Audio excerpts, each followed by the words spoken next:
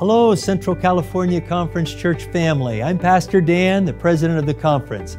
I want to talk to you for just a few minutes about Soquel Camp Meeting this summer, July 13 to 22, the full 10 days. If you've been to Soquel before, you know it's a place where lives are changed.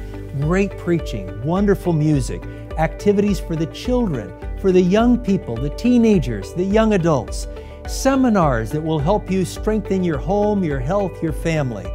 If you've never been before, we want you to come for sure too. July 13 to 22. And friends, think of family members, relatives, co workers that you want to see in the kingdom of heaven. Invite them to come and join you for this special event. They will hear the message, they will be a part of the Bible study groups, they'll enjoy the good fellowship. Some will be camping, some will be in RVs, some will stay at different places in the community. But bring them to this special life changing experience. We're praying that the Holy Spirit is poured out on each of us that are a part of this. For more information, to find accommodations, or if you'd like to help volunteer in some of the different activity areas where we need volunteers, you just go to our website, cccadventist.org.